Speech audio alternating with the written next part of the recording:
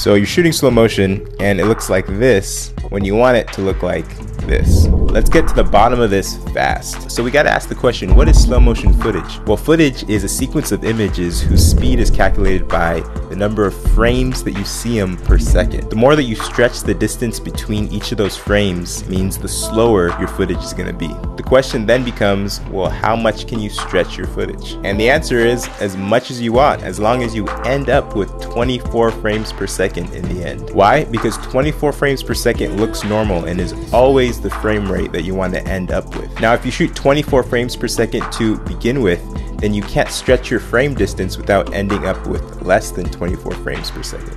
This will result in stuttery, unprofessional footage. If you want to slow down your footage, then you got to shoot at a frame rate that's higher than 24 frames per second, like say 60 frames per second.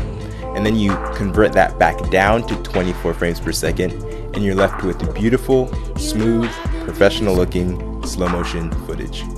Quick lesson on how to convert footage from 60 frames per second to 24 frames per second. Guys, there are two options. Regardless of these two options, make sure that your sequence settings show your timeline to be set to 23.976 frames per second or 24 frames per second.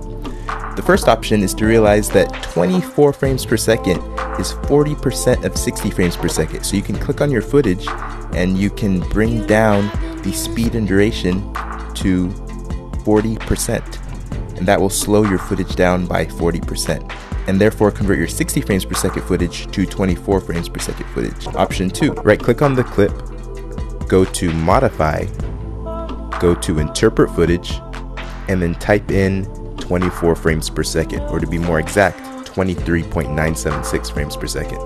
Thanks for watching, guys. Guys, we are almost to 20,000 subscribers. I'd like to thank all you guys for all your support and for going along this awesome adventure as far as learning about post-production in the film industry.